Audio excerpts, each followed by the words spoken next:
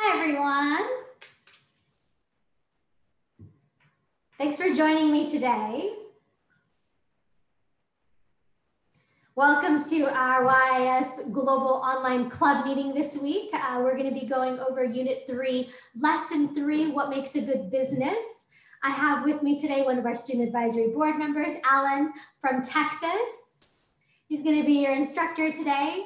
Um, we also are going to have a guest speaker uh, midway through our club meeting. Uh, Laura Geritz is going to be joining us. She's the CEO um, from Rondure Capital, and she's going to be leading a discussion today on what makes a good business. So that should be super exciting. So, Alan, whenever you're ready, I'll give it up to you. Yeah, for sure. Thank you. It's uh, super exciting. This is my uh, first meeting. I usually work Monday through Thursday, like clockwork. So let me. Uh, cool. Uh, so a little icebreaker that I wanted to start with was actually Tesla. They recently joined the S&P 500, which skyrocketed their growing stock.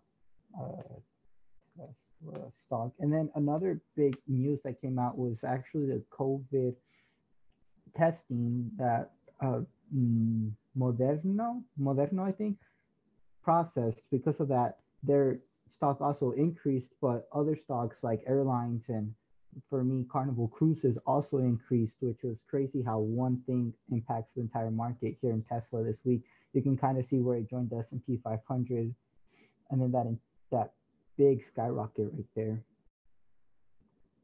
So let's get started with the lesson. Alrighty, so this lesson is gonna be what makes a good business and why we should invest in them. And the main thing that we're gonna take away from this lesson is ROE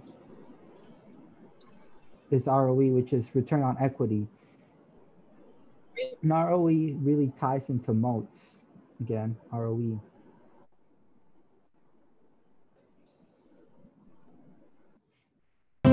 What makes a great business? What makes a business a dud? Again, two of the most important questions for any long-term investor and ones that we will answer during this next unit. Let me start with a personal example. One day, as an investment analyst, I walked into my boss's office and I said, What do you think about this company? It was a smartphone company based in Taiwan called HTC. I said, Look at these numbers. The company is growing. They have great margins. Their cash flow is great each year. And a lot of other investors like them too. Plus, the stock price right now looks really cheap on a PE basis, trading at below 10 times PE. My boss said, okay, these numbers look good, but have you looked at the history of Motorola, BlackBerry, Palm, and Nokia? Why would HTC be any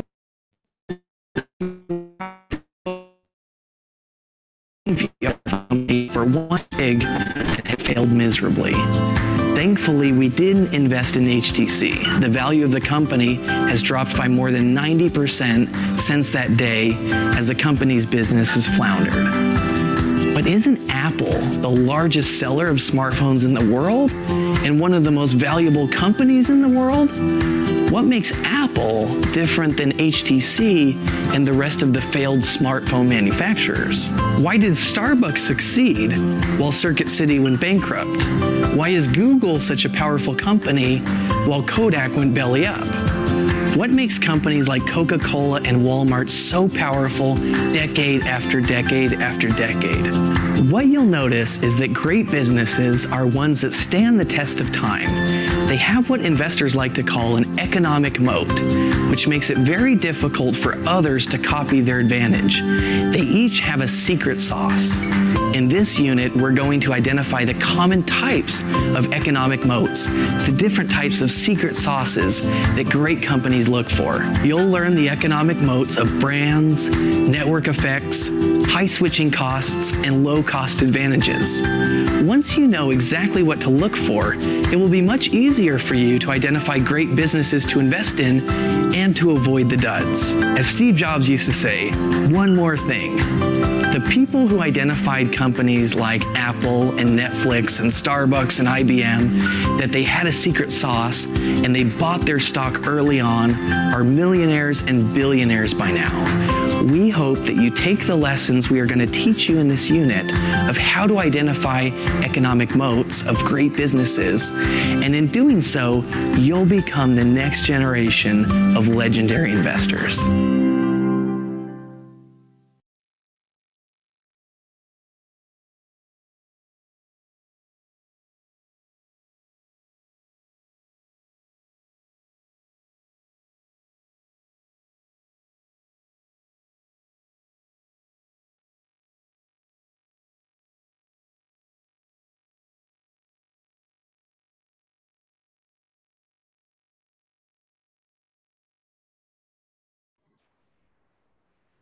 Alan, I can't hear you for some reason.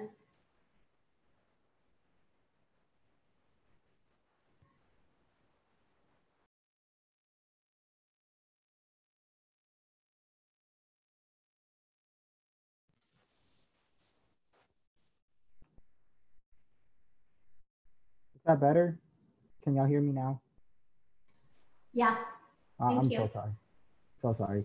Uh, so we're gonna see why businesses do so good and then eventually fall and why they fall. So why do y'all think some businesses succeed and why some fail?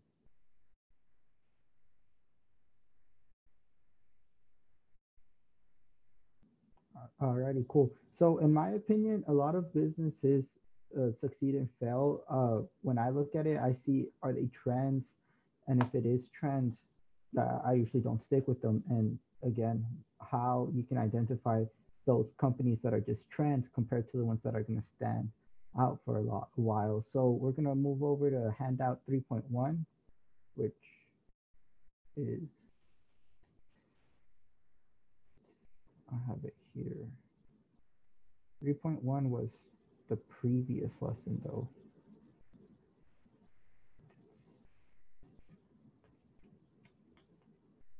Was it? Yeah, it was.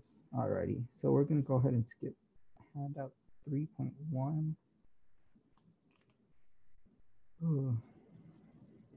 So, and here we're gonna see why competition is kind of bad. So for candy shops, the people have a choice to go to whichever candy shop they want. And usually candy kind of varies a little, but not too much where everybody can say, hey, we're going to this specific thing. And because of that high competition, they have to lower prices so they can compete with each other. That means more money for advertisement to get their word out. And then on average, that means their earnings at the end is so low because of all this spending versus losing money to competition, all the lower prices there are, and the more advertising.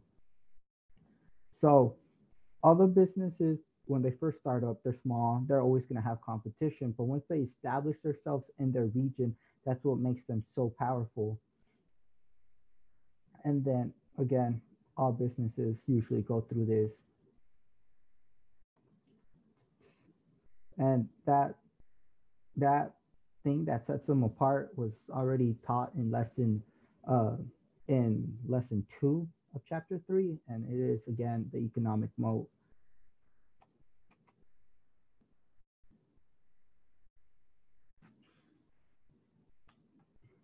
My bad. Be About here.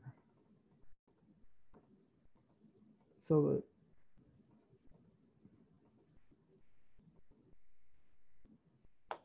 So these companies have that big moat. Everybody knows Coca-Cola. Coca-Cola themselves own so many other brands that it doesn't really matter. Walmart, everybody knows Walmart. And that's why they provide high returns and they can protect themselves from everybody else because there's not a lot of people that can compete with Walmart or Coca-Cola. Or I don't really know much about Colgate, but it's there. And again, you know the main takeaway from the entire uh entire chapter of three is economic moats for the next meeting we're going to go through there but there's also a kahoot that we can play if y'all want to log in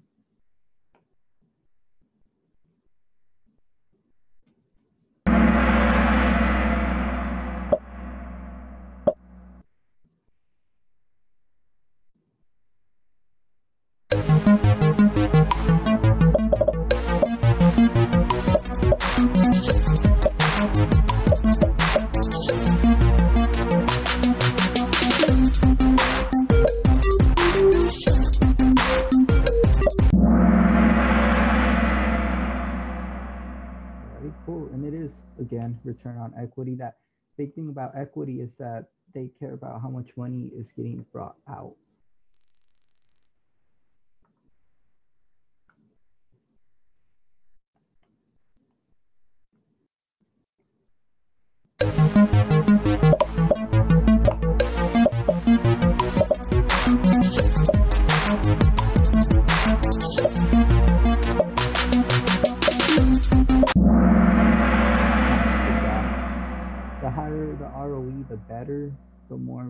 profitable that company's gonna be in the future.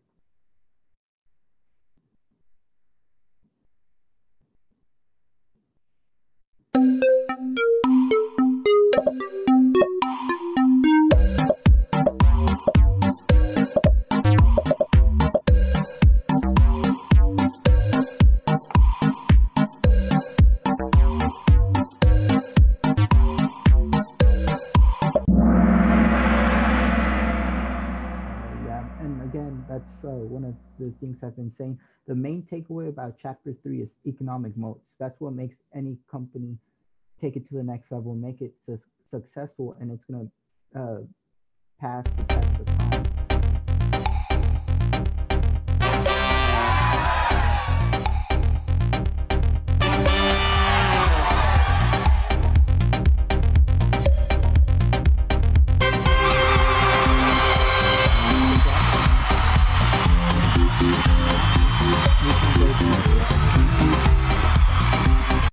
two companies, Apple and Harlett Packard.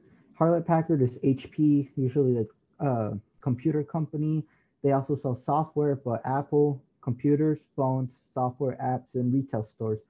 Who do y'all think is gonna make more money at the end of that segment from 1995 to 2004? Apple. Of course. And yeah, you're right. It is Apple because of their moat, how uh, easily they can separate themselves. Everybody knows Apple, not and with HP, there's also many more competitors, Alienware that can go against it. Apple just really just has Samsung that goes against them. But even then, it's different OS, and they have different other ways to make money. And from here, you can see Apple increased from 13% to 30% on their return of equity which compared to HP, they actually dropped about 2%. And again, more portability. That's why they benefit so much.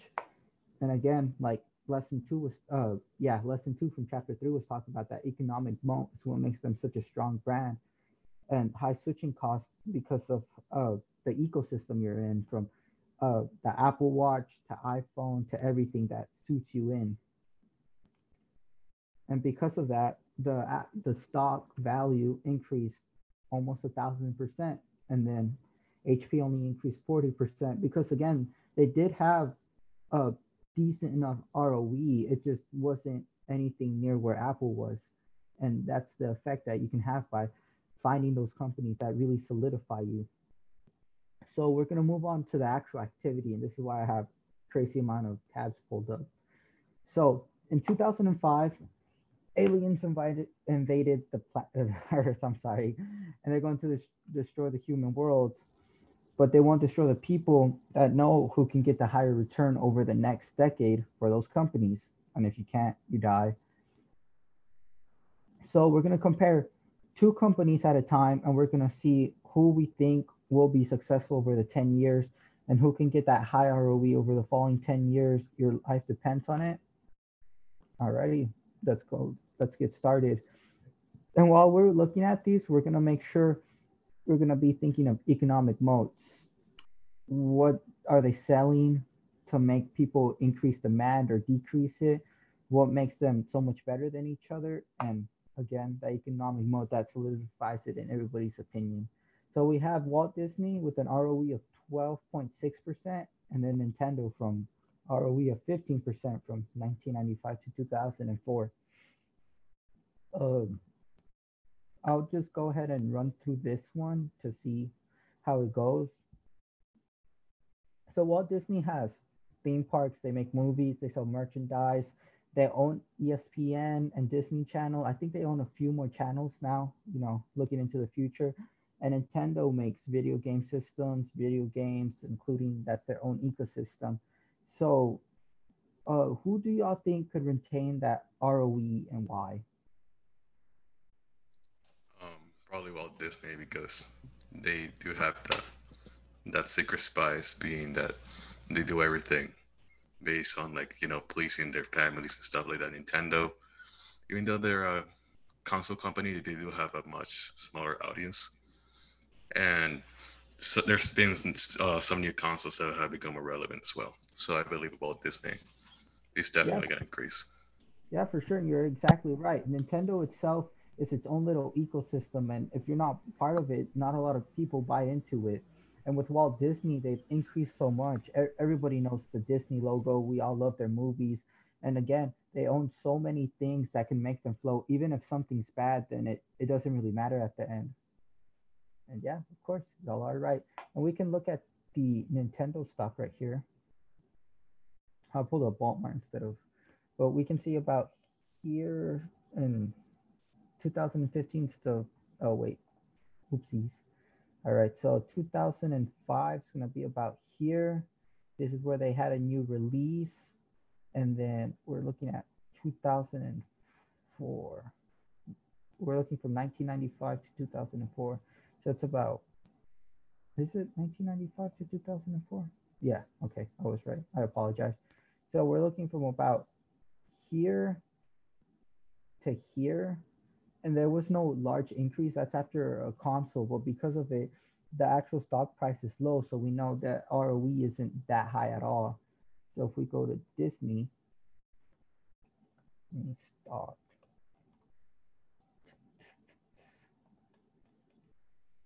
Max out. So here's about 1995, and then we see a subtle increase, and then we see a subtle increase and then here's 2004. Now both of them, this uh, stock actually dropped. Uh, I have to Google its actual ROE to find it, but Disney itself keeps growing and growing. And here we see Nintendo how their cycle goes through consoles, drops, consoles, drops, consoles, drops. So the ROE in general isn't going to be good enough because it's based on a cycle where Disney just keeps increasing and flowing. Alrighty, next question. So we have Abercrombie and Fitch versus Coca-Cola. Abercrombie and Fitch with an ROE of 55%, but Coca-Cola has 17.9%. Background, it's a clothing company. It's kind of like a Hollister, an American Eagle. Coca-Cola, there's, I mean, self-explanatory. Who do y'all think is going to be able to retain it from 2005 to 2014? Um, definitely Coca-Cola. yeah, so uh, I don't know about y'all, but Abercrombie and Fitch kind of turned a little less relevant. You know, not a lot of people know about it anymore. Coca-Cola, it owns a crazy amount of uh, beverage companies and even water. It's always increasing. It always has that steady increase, and it's not going to go anywhere. And you can even by just looking at the chart itself, it's always steadily increasing, making a high ROE. When you see Abercrombie, we see again that cycle, which makes it really bad. And right here, you can kind of see where people really stopped caring for the brand and it keeps dropping and dropping. So actually, the, you're probably going to be at a loss for the ROE. It's not going to look good. So next one is Southwest Airlines versus McDonald's. From here, we're going to look uh, 2005 to 2014, 2005 to 2014. Southwest Airlines, kind of self-explanatory. Uh, it's an airline, and McDonald's again, self-explanatory. Who do y'all think is gonna be better? McDonald's, yeah. Airlines tend to fluctuate, and especially right now with uh, COVID, most of them are down. Uh, I personally have money invested in Carnival Cruises that also kind of spike, but it is what it is. And with McDonald's, everybody knows it. It's always a growing brand. There's there always room for expansion to different countries, and we can see it right here. 2005 to 2014, there's a spike surprisingly, but right here we can kind of see the effects of COVID, and they're coming back up because, again, that Moderna vaccine that came out 90% efficiency a couple of days ago that really spiked it up uh, spiked up my Carnival Cruises too. And then we can see McDonald's. We can always see that steady increase, that always steady increase. And that's what you really want to see when you're long term investing, especially with that ROE always increasing. So, again, McDonald's is where you want to go because most of these companies that we've been looking at is their opponent usually runs in a cycle. So it always has its ups and downs and ups and downs. And that's not what you want when you invest. What you really want is something that you can just sustain for the long run. Look at it, maybe peak at it a couple of years, but it's always going to increase. Cycles are just, that's not how you make money. It's just going to increase, decrease, increase. There's no way to profit off of it. This last question is going to be Microsoft versus Verizon. This one was kind of iffy for me. I wasn't too sure. Microsoft, they make Windows. They also make the Xbox. They make a couple of other things. Verizon is, I mean, Verizon, uh, phone company. Who do y'all think is going to be the better ROE?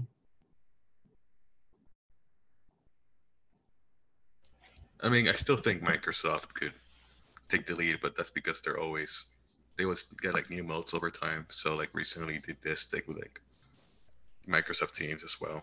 And Verizon's always been kind of the same thing as well. So they're very specific with their audience. So I think Microsoft. Yeah. Yeah, and uh, I kind of agree with you on this one too. Microsoft always has rooms for improvement. It's always growing. Uh, would they have different variations if their computer software doesn't wear, uh, work? There's always uh, their consoles. There's always other things that really help them out compared to Verizon, where like you said, they kind of have their their ecosystem already set with their customer bases. We're looking at customer loyalty. The only thing that they can do is uh, improve how they're doing 5G, fiber optics, but there's so much competition because everybody else really has that compared to Microsoft. Let's say for the Xbox, they're mostly competing with um, PlayStation, maybe Nintendo sometimes.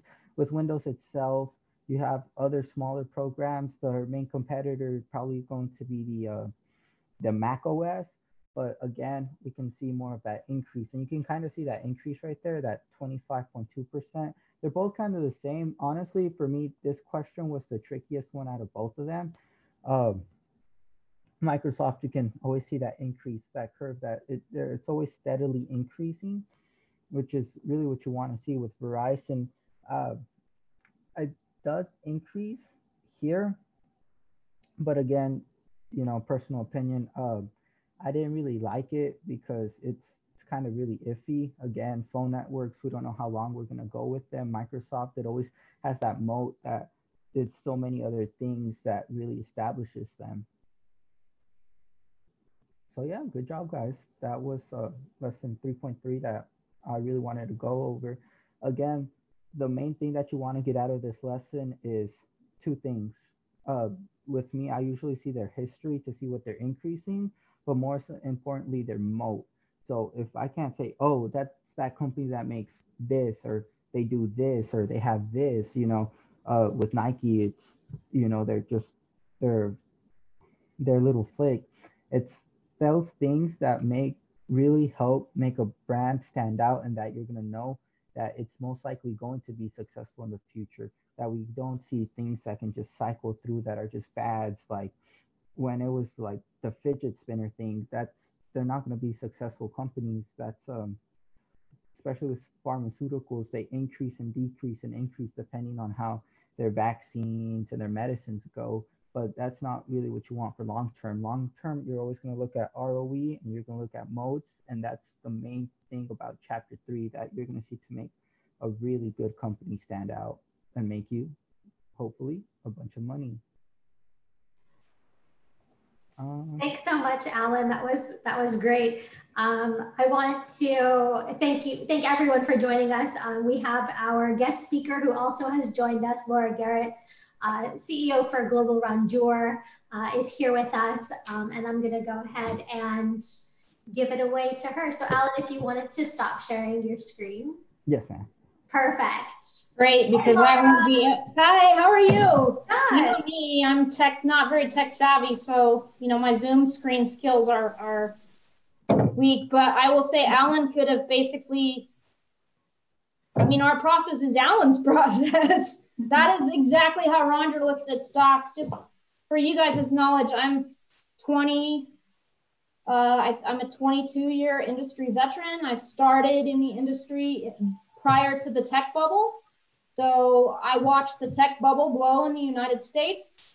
Um, and I've been doing emerging markets and international and frontier markets for years and years and years.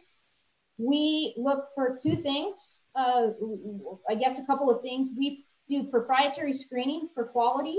So there are certain factors in, in terms of quality that I think maybe I can almost answer every single one of the questions on the stocks that Alan went through from experience of covering them. But um, we look at first and foremost balance sheet quality and cash flow stability in terms of thinking about is the company special and we screen bottom up and we do it for every company in the world and there's approximately 70,000 of those from small cap emerging and frontier to tera caps in the United States. Uh, we tend to narrow down our companies on that, uh, on those parameters. And then the next thing we do is we look for their future compounding capabilities. And we do that by analyzing Warren Buffett's good old moats. Except we actually have our own proprietary process for moats, which I've got a scoring framework here that I can show you uh, how we think about good companies. And you can take this scoring system and you can do it with every single one of these stocks that you just went through. Um, and uh, basically be able to score and figure out uh, some of the attributes of these companies. But let's see here if I can share screen.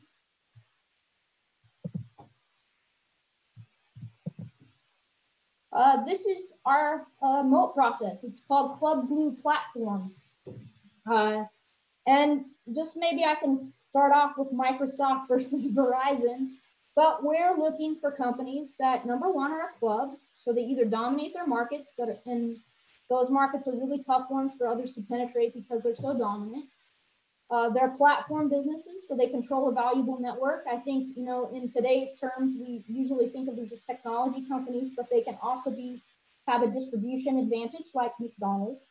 uh, and then, um, you know, again, uh, then you have glue, benefit from loyal and captive, captive customers are hard uh, companies to disrupt. Uh, we generally speaking like to look for companies that have at least two of these attributes. Um, and just to get back to Alan's commentary, the one that will let you know whether a business is most likely to compound or that you need to be very, very careful on price is the glue.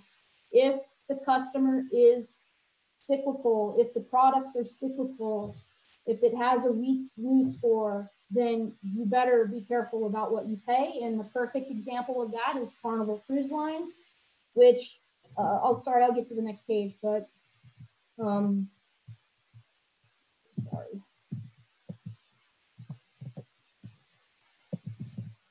This is a Word doc, me back out. Sorry.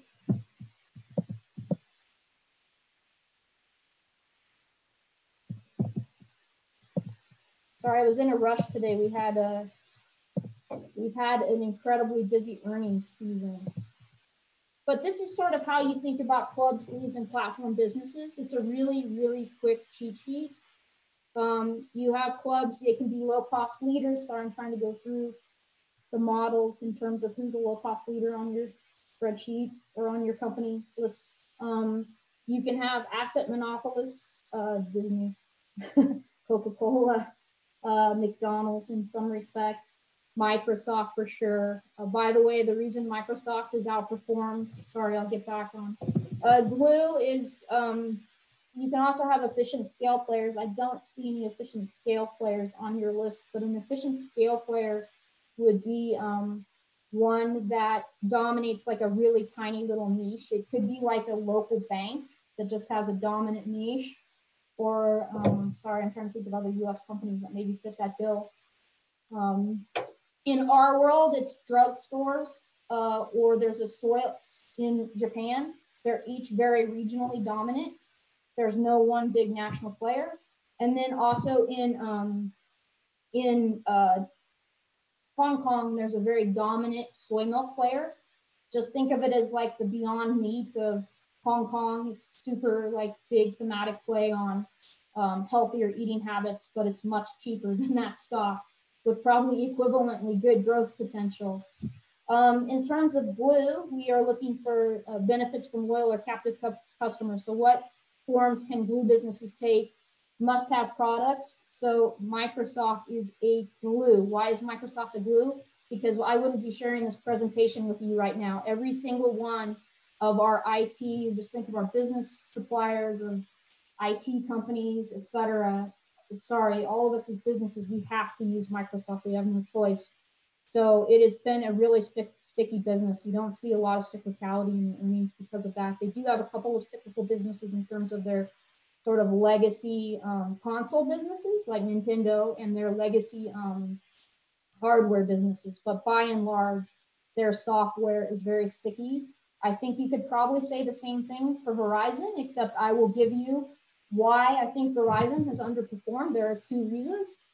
Um, we go back and if you look at this club attribute in the telco space, the government is the club. it's even though these are dominant players, that you can get surprised by regulation and just blown up in the space technically. And then if I were go back to go back into our screening process, Verizon has a net debt balance sheet. Microsoft's balance sheet is better than any government's balance sheet in the world. It is a spectacular balance sheet, which gives them all kinds of flexibility to buy back their shares, increase dividend yields. That is another form of margin of safety, that balance sheet, that compounding capability, that moat that generates EVA over uh, time. Um, last but not least, um, we'll go to platform, which platform can take a lot of forms. A platform can take a logistics and distribution network, a scale advantage, so that could be McDonald's.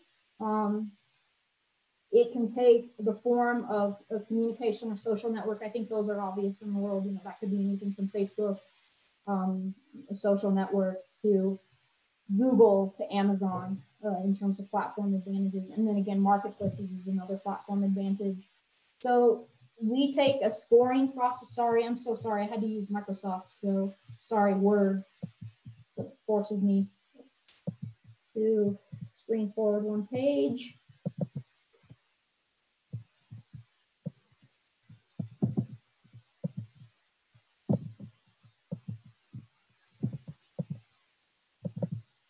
So this is our scoring process. We take a nine point, a zero to, three point scoring process, and we score the club, the strength of the, the moat in terms of defensiveness of the monopoly or oligopoly or efficient scale, uh, advantage, we score the glue. So how sticky is this product? Um, again, one of the reasons like Carnival has uh, less sticky customers is because by and large, I don't know if you guys know this, but most people finance their cruise and most people are still paying off their first cruise when they take their next cruise. So outside of COVID, when the credit market contracts, that can really affect who is taking a Carnival cruise cruise uh, outside of just let's ignore COVID and just think about what is the CGP here uh, when um, you know when you don't have COVID. But again, it's a great club industry. There are only three players in the world. You know, Disney has a really tiny, tiny cruise arm, but it isn't big. Uh, and then last but not least, we score the platform as well. One thing I will point out to you back again in terms of Alan's cyclicality question and long-term compounding is outside of bad balance sheet or overvaluation, you still, still, still have to watch what you pay uh, for these businesses. You want to be careful.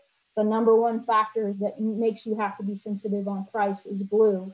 Um, going back to Nintendo and Disney example, uh, Disney outside of COVID is a free club, a free platform. And as you guys all know, because they bought 20th Century Fox two years ago, um, it is a much stickier business today because uh, that, uh, that um, direct to consumer distribution platform uh, is just much less cyclical than the other two pieces of the business. I think they're at about 35% uh, operating capacity on the park side of the business. So it it technically the glue is is improving because of that network uh, or direct to consumer business. So uh, what was a lower glue rated business at one point in time has really increased.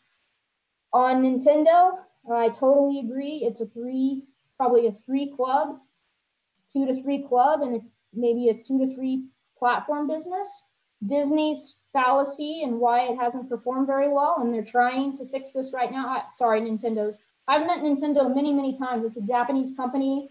They're very conservative. Um, and one of the things that they do is they hide uh, their console is this golden profitability goose, and they don't want to kill it.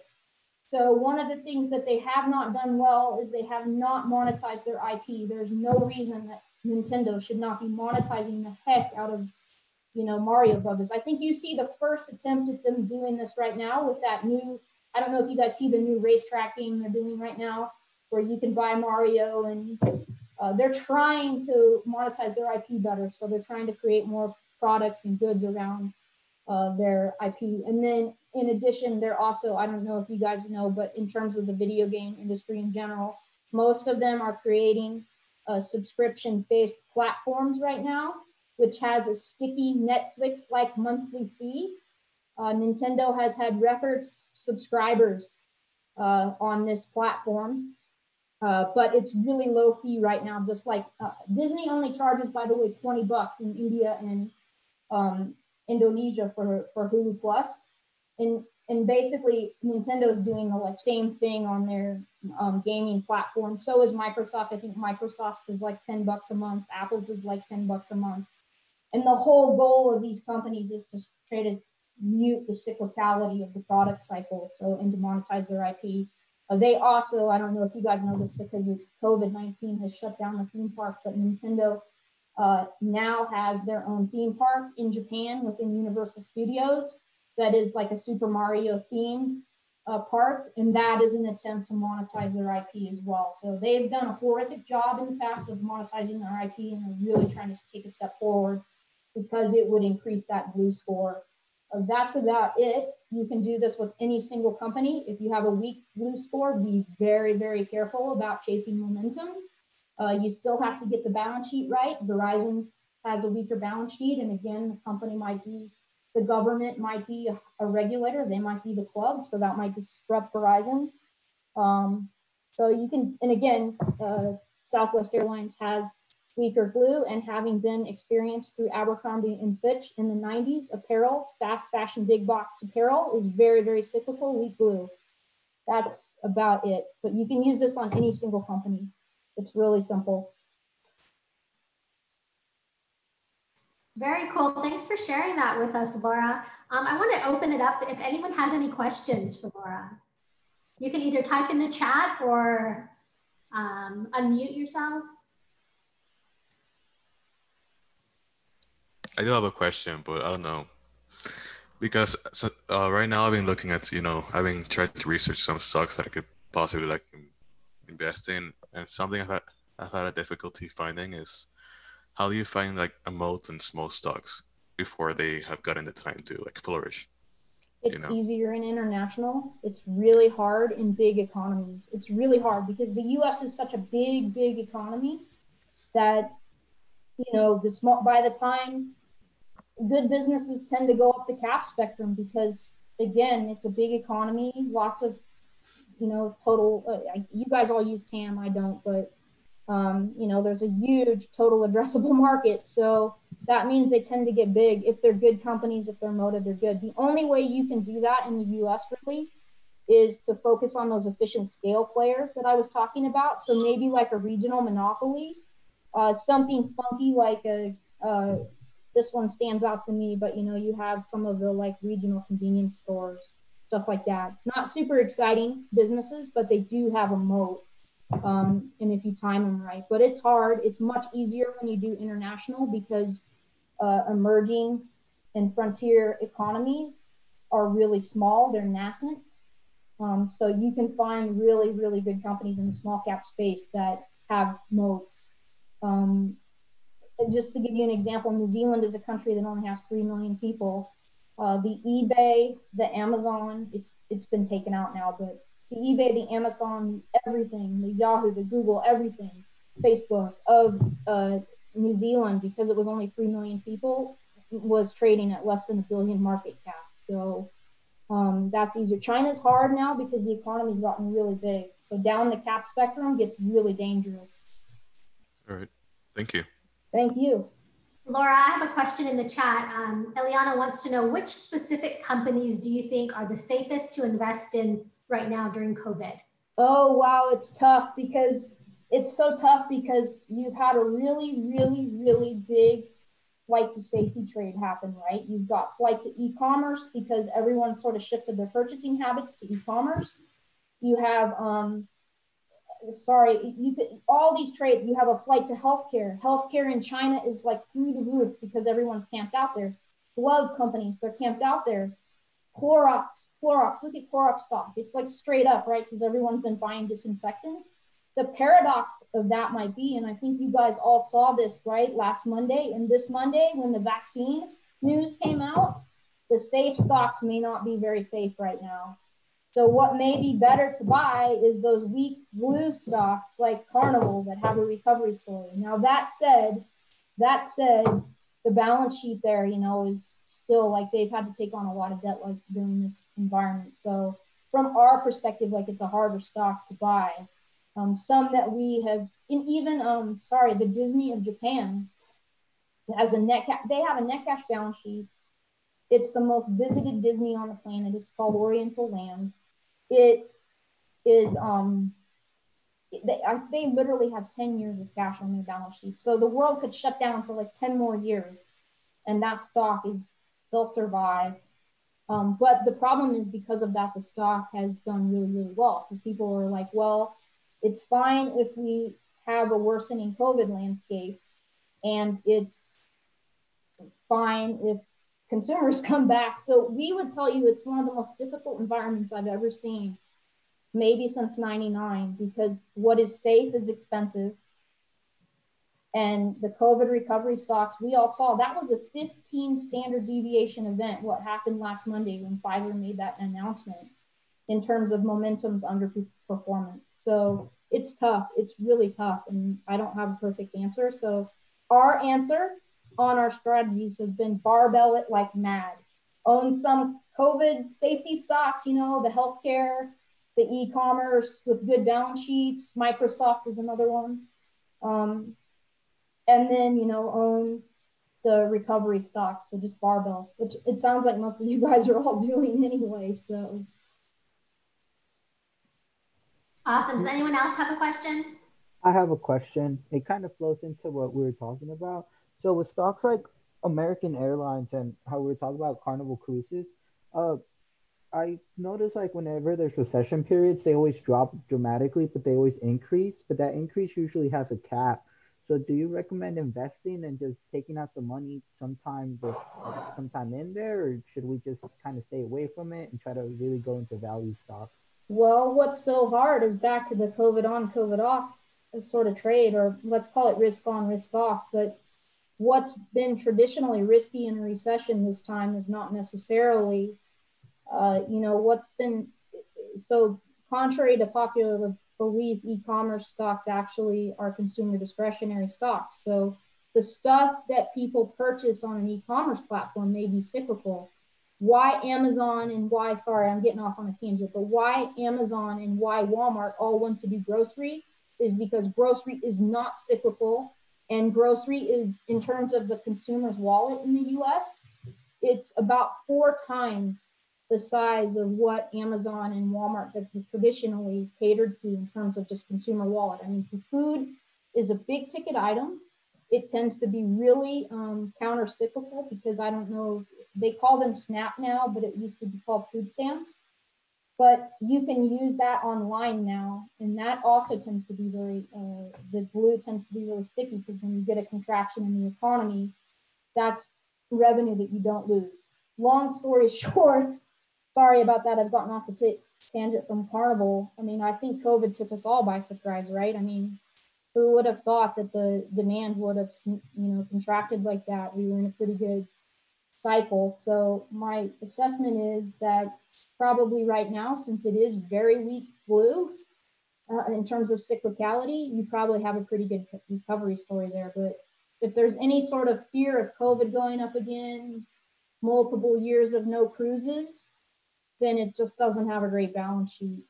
And you know, it's really sad because if you look at the founder of that company, who's been around for years and years and years, and his actual holding in the business, I mean, for all you know, everyone thought he was that was the better balance sheet in space. So I mean, in terms of like ranking, you've got the best balance sheet company. The problem though that I see is the industry's so consolidated now that when you I don't know if you guys this, but in the past when the cruise lines would have a bad cycle, they just sold ships to they could sell ships to the better balance sheet. No one has a balance sheet that can do that right now. So that's a really tricky landscape. So my commentary for you is maybe it's not your best long run stock if it if it bounces a lot. I've made the same mistake. So, you know, on a club and platform basis, it's exceptionally good. The balance sheet is just iffy. Their assets are very good, but it's very, very cyclical. And the stocks did that back in the, sorry, going back in time, thinking about why the that you had some of these cycles. Some of them, if you go back in time and look at the charts, that's probably 9-11 in the charts. So um, just kind of look back at that 01, 02 period, and that's a pretty good parallel uh, for what could happen. Thank you so much. No, thank you. I was shocked. Your presentation was fantastic. Sorry, I don't mean to be shocked by that, but it's better than ours. Does anyone have uh, anything else for Laura uh, today? Laura, this is James. Um, oh. I couldn't oh. resist. Uh, I didn't know you. I couldn't resist hearing Laura Geritz talk about what makes a great business. so I had you? to. Uh, I had to dial in. How are you, Laura? I'm great. How are you? What, what do you think of these? What, I mean, what do you do here? In these markets? uh, yeah, it's been like you said, it's been killer this rotation out of quality into cyclicality. Um, you know, you, see, what do we do? We stick to what we do, right? We we we own quality businesses, and we are not going to outperform in every every environment, but we're going to stick to stick to what we do. I think there's good secular growth um, trends, and so there's lots of good secular growth opportunities opening up, but it's it's tough. yeah, we've been we've been hit hard as well on relative performance. Are you? I have a question. I have a question for you, Laura, because um, this is your time to be on the spot. Um, how do you think about valuation in today's world? So, um, you know, on one hand, um, on one hand, companies are expensive, um, especially on an earnings basis. But on the other hand, when you look at um, low interest rates and implied discount rates and low inflation staying low potentially for longer, valuations could continue to just rise and rise and rise. And so, how do you think about valuation? the stronger the CGP, the stronger the CGP and the more, I mean, the more the interest rates are Japanifying. Uh, yeah. As you guys probably know, I, I lived in Japan off and on all my life, so I'm a student of deflation, uh, unfortunately. Either fortunately or unfortunately, I have the sort of deflationary playbook uh, from Japan, maybe now Europe. But for sure, I mean, if you think about it on a Warren Buffett basis. I mean, Warren Buffett said it better than anyone. He hasn't followed the playbook as well as like his own what he says about you know in a one percent interest rate environment, a company can sustain a hundred PE. You know, for if it with growth, if it grows, you know, the inverse of the you know the earnings yield, you know, is still one percent. And if it grows, you know, next year it'll be higher than one percent, and the next year. So I mean, that has definitely been playing out in Japan, right? I mean, we see the higher the secular growth, the better the club and the glue and the platform, um, then the more that you're seeing stocks actually go to those 100 PE levels. And in my opinion, you're you're an emerging markets person, so am I. I see no inflation in the emerging world other than just supply chain disruption. It's it's deflationary or it disinflationary at, most. So I think interest rates in emerging are headed straight down to US levels. I think the US has boxed itself in. It is now Japan. So yeah, stocks are way better than bonds in my opinion. They're going to be volatile, volatile, but you know, on an earnings yield basis, then you know, as long as interest rates keep coming down, I view the, you know, the price that you pay is somewhat of a bond proxy or spread the bonds.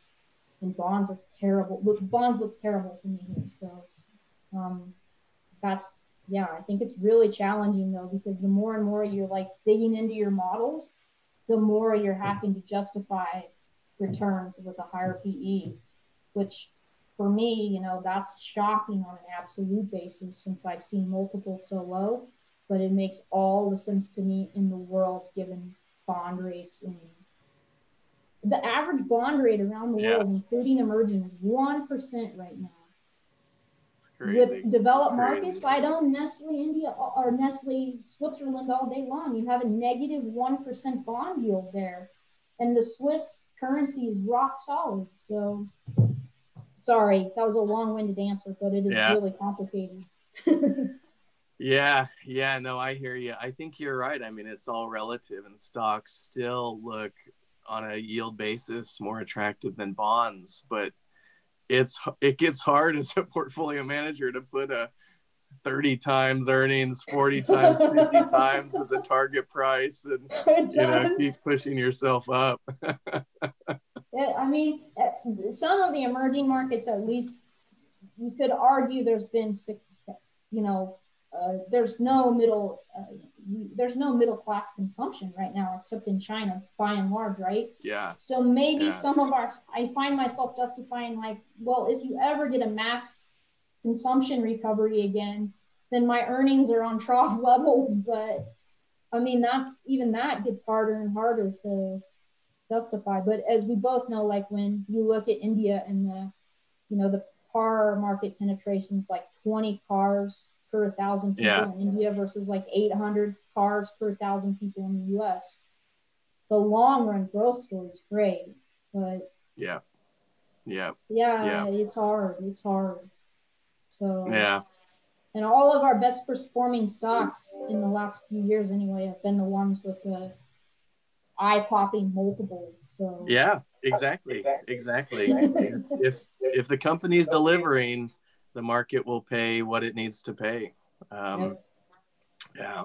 All right. Well, thanks, Laura, and well, thanks thank for doing you. this. You're you you're amazing.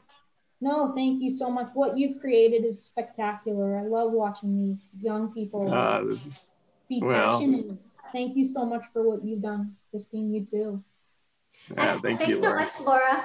Um, I can't thank you enough for being here today, Laura. I want you to leave us with one piece of advice if you can. So, if you could give yourself in high school one piece oh. of advice, what would it be?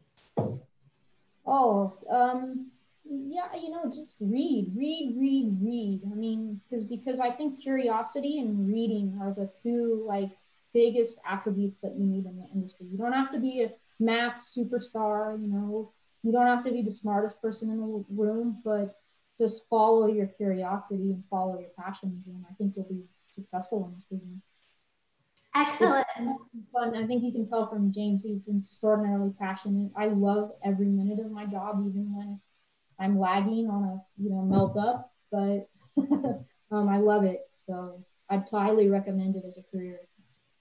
Excellent. Well, thank you so much, Laura. Can't thank you enough for being here today. It was great to see you. James, thanks for joining us today. What a great surprise. um, well, that's it for this week. So I will see you guys in two weeks. We're taking a little vacation for uh, the holiday, but we'll be back again. Um, so I'll see you guys all very soon. Thank you. Bye, Bye guys. Thanks, Laura. Bye. Thank, Thank you. you. Thank you.